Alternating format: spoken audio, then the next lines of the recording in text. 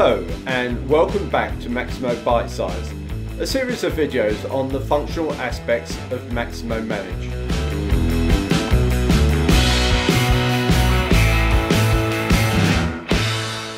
Good afternoon and welcome to the fourth episode in the series on maintenance planning.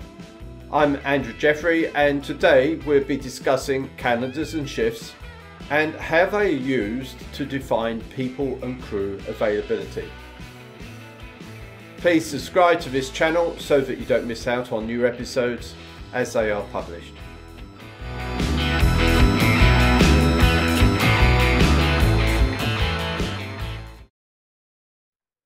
Today, we'll start by looking at the calendars application, which is where shifts are defined. And it is the shifts which create a set of work periods that are used elsewhere in Maximo.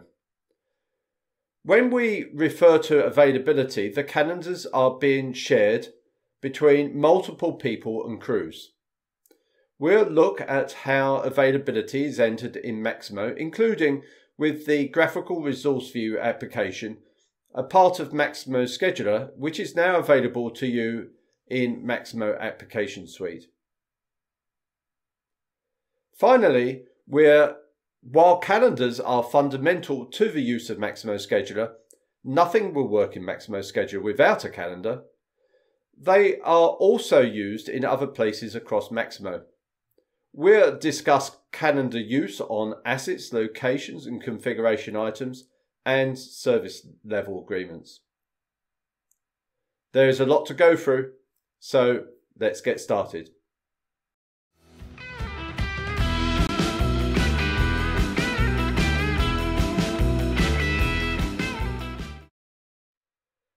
The calendars application will be found in the administration module. A calendar has an identifier and a description, a start date and end date. You will want the start date to be in the past by a few months and the end date a date in the future. I would make the end date the end of the year and at least two or three years ahead of time now. Don't be ridiculous in the setting of the end date like the end of a century as you are just creating additional records for Maximo to search through. The next decade would be quite acceptable for an end date. The calendar displays uh, shows the total number of work hours for the shifts which are applied to the calendar. This can be greater than 24 hours. There are circumstances in the use of Maximo Scheduler where you may have many shifts associated with the calendar, if there are more than three shifts, the chances are the total number of work hours is now more than 24. A date with work hours is known as a working day. Without work hours, a non-working day or non-work date. If you click a date where it is showing the total number of work hours, in this case the 18th of November 2022, a dialog will open showing you which shifts have been applied to that date. Each row you see in the screenshot on the bottom left is a work period. Maximo does not use the calendars and shifts per se, but the defined work periods. If something isn't working on a particular date, for example, if you were assigning a labour crew to a work order, you should check the calendar and shift that is referenced and check the work period for the date in question. If there's no work period, then the person or crew is not available. There is a work periods tab with a table window that shows all the work periods related to the calendar. Calendars are defined at the organisation level and there is no status. Today will be highlighted in the calendar. It is the 4th of November in the screenshot. Today is also shown above the calendar display to the right of the buttons that allow you to scroll through the months and years. There are two actions which we will discuss on the next two slides. Define apply shifts and define apply non-working time. A shift, when applied to a calendar, creates a set of work period records which are used by the rest of Maximo to evaluate working time versus non-working time. For each work period's work date, the working time is the time between the start time and end time. Non working time is all the other time in a week when there is no work period. A shift has a shift name and description, a start day, and the number of days in pattern. The start day is a day of the week, normally either Sunday or Monday. Use a Monday to start the week with a working day. The number of days in pattern should be a multiple of seven, as there are seven days in a week. A shift rotation of three shifts would have 21 days in the shift pattern.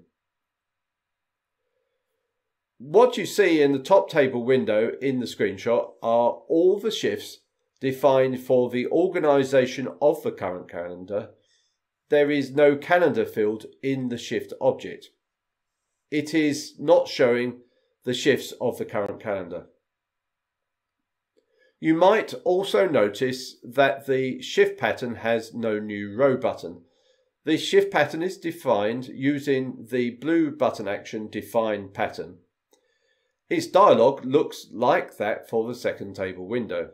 It is acting on the current shift record, which in the screenshot would be comp 1. If the start day is Sunday, then this is O1 in the sequence of pattern day field, and O2 is Monday. If the start day of, of the shift is Monday, then O1 is Monday. You enter the start time and end time for each working day, the work hours are calculated, but do not change this as Maximo Scheduler won't use this number of hours. It currently uses the hours calculated between the start time and end time. The pattern day field is used if you have a calendar with multiple shifts. For example, if my three shift rotation has days, evenings, and night shifts, then use D, E, and N respectively. It will be seen in the graphical resource view application of Maximo Scheduler to indicate what part of the 21 day shift a person is working. The button action fill out workdays data is like a duplicate action. It copies the current row data through to the last day of in the pattern. If you have a start day of Monday, it will require you to remove the start time and end time of sequence 06 and 07 if your calendar is a five day work week. An example of a 21 day shift rotation can be found in Maximo Secrets. Just search for calendars. With a pattern defined for the shifts you wish to apply to the calendar, then you select the shifts you wish to apply and use the blue button action Apply Shifts. The dialog that opens allows you to set the range of dates to apply the shifts to. This defaults to the start and end of the calendar, and this may not be what you want, so beware. After applying the shifts, do go back and check a few dates at the beginning, middle, and end of the date range on the calendar to verify that the work periods have been created. If you scroll down in the dialog, you would come across another table window to create breaks in the work shifts. This can only be done for the days in the pattern which have work hours. For example, if your work day was 08 to 1700, which is 9 hours, then you could add a break between 1200 and 1300 for 1 hour. This does not reduce the work hours, they are still 9 hours. However, it will visually show in the graphical assignment application, another application that is part of Maximo Scheduler, so that you can schedule a gap in the work orders around the time when the labour or crew would be expected to take a break. Breaks are not used elsewhere in Maximo, so I wouldn't define them unless you were imminently going to use them. You can define multiple breaks in a workday. The define apply non-working time action allows you to create a date that will be treated as a non working day and apply to the current calendar. After you have selected the row, then use the apply button. Multiple dates can be selected and applied together. The type field is the reason for the non-working time. It has options for holiday, personal, sick, vacation and other. This implies that the non-working time is used for personal time, as it was more than two decades ago. But it should not be used this way now. A calendar is shared between multiple people. We will see in the section on availability how we modify the calendar to indicate non-working time when on vacation or sick, etc. Maximo Scheduler only allows you to reference one calendar, but multiple shifts. Therefore, the calendar must be shared and not set up individually for a person. This means that you should not use the define apply non-working time action for people or crew based calendars. I can hear many people saying, why not for Christmas and New Year when everyone has the time off? Well, this may not be for absolutely everyone. Besides, it would stop you creating exceptions for some people coming in for a few hours additional time on days considered a general holiday. However, it is quite acceptable to use the define apply non-working time for calendars used for other purposes, for example, locations and assets, as you cannot use the same dialogues for modifying availability used by people and crews. The define apply non-working time, when applied to a calendar, creates a work period record where the shift is the non-working time type, for example, holiday and the shift hours are set to zero, as are any other shifts applied on that date. The calendar date will always show zero hours. It applies to the whole day for all shifts.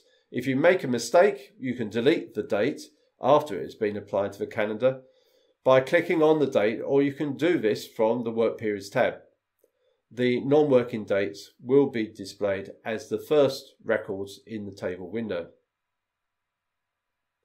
When used for location and asset-based calendars, the define apply non-working time action is used to apply whole days when there is no operational time. But this could be achieved in another way by going to the Work Periods tab and using the New Row button. And this also allows you to enter a partial day. For example, if operations were going to continue to run on Saturday morning at work location, this could be added to the calendar from the Work Periods tab.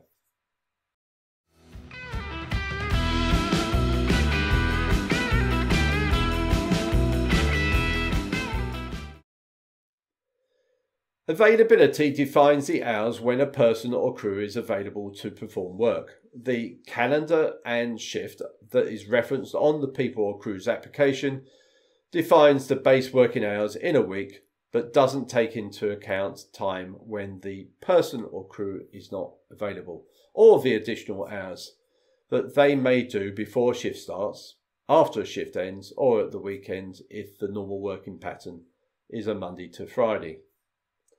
In the people application, there is an action called modify person availability. In the crews application, there is a similar action called modify crew availability. The dialogues are very similar, and in both cases, the dialogue is modified slightly when the action is performed from the list tab of those applications against a selected set of people or crews.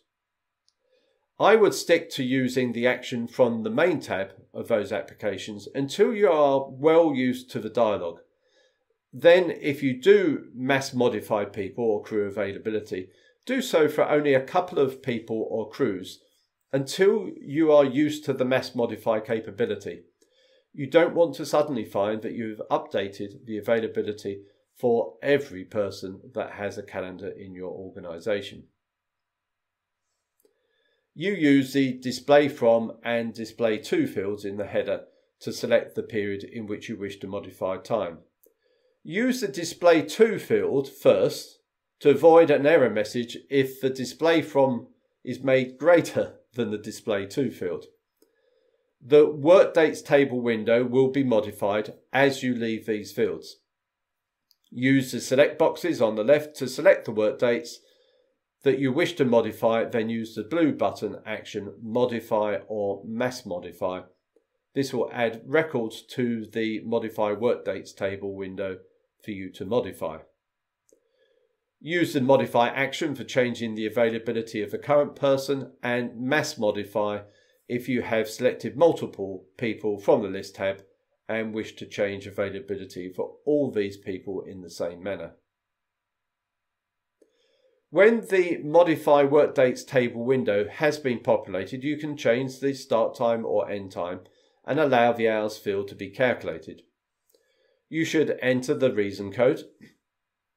The Mass Modify action opens a dialog where you can modify the start time and end time and enter the reason code to apply to all the selected dates. This is useful when you hear people are sick or taking a week of vacation.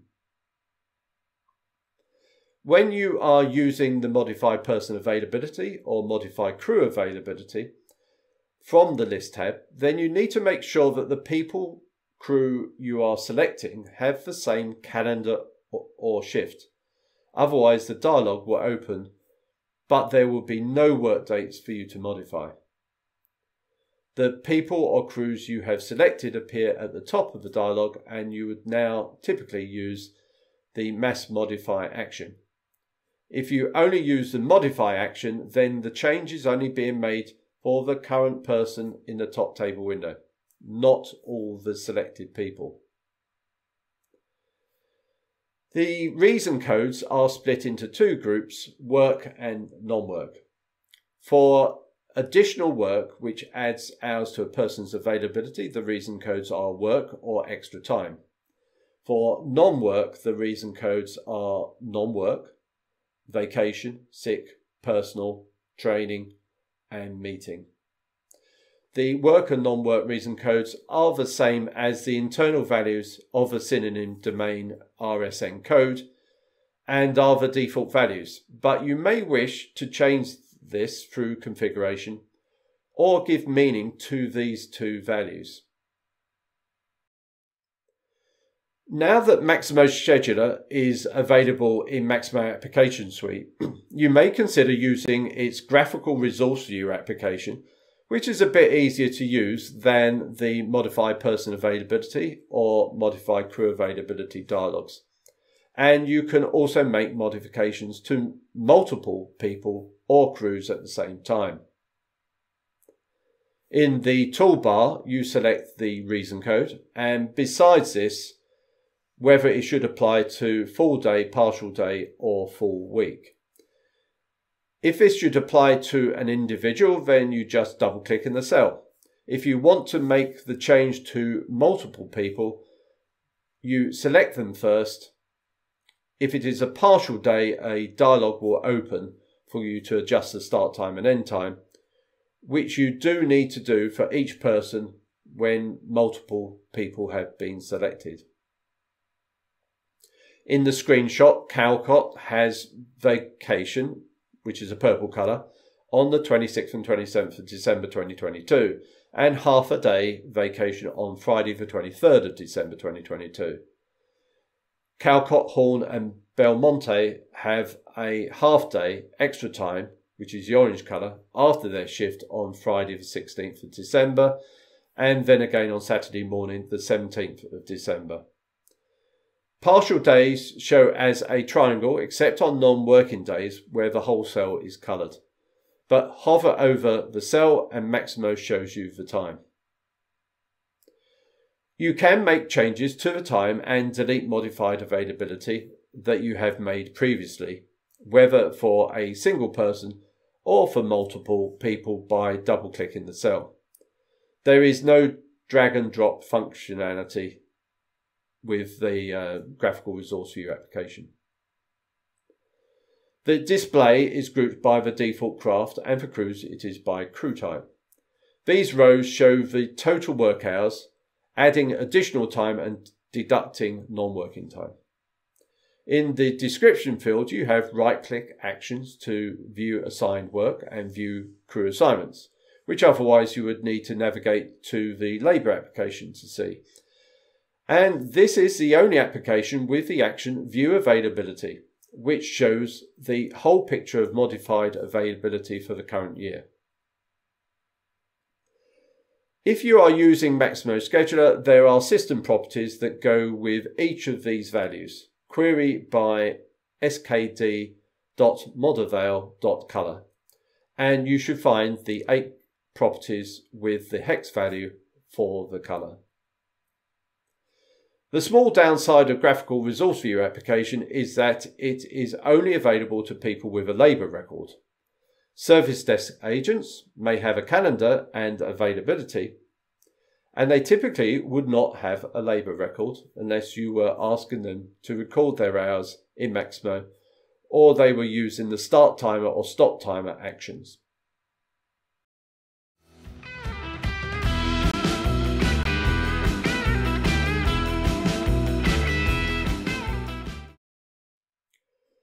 All the Maximo Scheduler graphical applications require a calendar, and calendars will most often be used when you are looking to implement one or more of these applications, or if you are aiming to use the Assignment Manager application.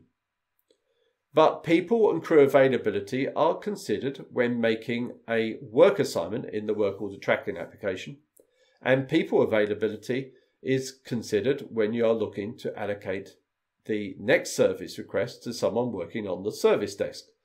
And so it would be wrong to say that calendars are only used with the Maximo scheduler. Calendars are also used with assets, locations, and configuration items to distinguish between operational time and non operational time. For example, facility managers use the location calendar to indicate the opening hours of a shop or school. Asset calendars are used to indicate the operational hours of the asset when recording asset downtime. When a calendar and shift is used on an asset, the downtime hours are calculated. Otherwise, downtime is based on a 24 hour day. The calendar and shift of a configuration item might indicate the time when a software application is expected to be um, available and when it might be down for maintenance periods and backups. When a calendar is applied to a location, asset, or configuration item, the calendar typically has just one shift. Multiple shifts may exist on a calendar used with people or crews. One tip I follow is never reference a calendar without a shift, as it is the shift which adds the work periods that will be queried by Maximo. Without the work periods, a calendar is just an empty shell. On the service level agreements, SLA, application, two calendars may be referenced. The applies to calendar is used for filtering records to see whether the SLA is applicable. This is when SLAs are not applicable 24 by 7. For example, in a school, facility managers might be expected to have a more stringent SLA during term time than during holiday periods. Or for a shop, there may be more stringent SLAs during the six weeks before Christmas and the four weeks afterwards when there is high footfall. The SLA's calculation calendar is used to determine the hours or days that count when a response time or resolution time is being calculated. For example, a response of five working days, the calculation calendar is used to define the working week. I hope you've enjoyed this video on calendar shifts and people crew availability and found it useful and thank you for watching. We would like to see you back in our next episode when we will be reviewing job plans. Don't forget to hit the subscribe button and if you enjoyed this video, please give it a thumbs up. The music is called Drag Race from the group called Track Tribe. do check them out on tracktribe.com, all one word. Until another time, goodbye.